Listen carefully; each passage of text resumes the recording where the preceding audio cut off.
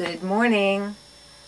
This is Dr. Rona in my Vitamix kitchen after my CrossFit workout this morning. So I'm in my grub and I'm post workout, but I got a great idea for a smoothie. We're gonna make, we'll put the lime in the coconut and drink it for lunch smoothie.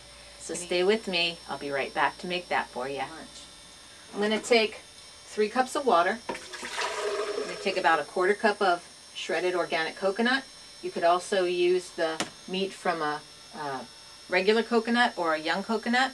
I'm going to take the juice from um, seven key limes, a piece of ginger, that's optional, a scoop of protein powder that's sweetened with stevia. Going to try a fresh vanilla bean. That's a whole vanilla bean. This one happens to be a little bit crunchy, so I'm going to break it up into pieces and a pinch of salt. Just to help me rehydrate and to add a little flavor. That's it. I'm going to put the lid on, turn the machine on, turn it all the way up and up to high. Turn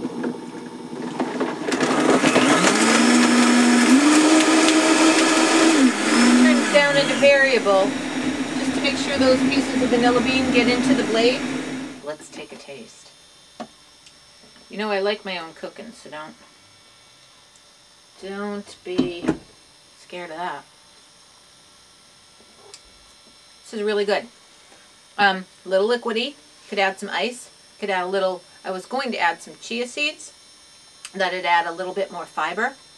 And also uh, some thickness. Mm -hmm. But actually, to help me hydrate after my workout, I really want a lot of water. Have a great day and eat healthy, making great food in your Vitamix. Cheers. Hi again. I decided I wanted to try it for you and for me with a half a banana. See how it tastes. Oh my gosh. Highly recommend that half a banana.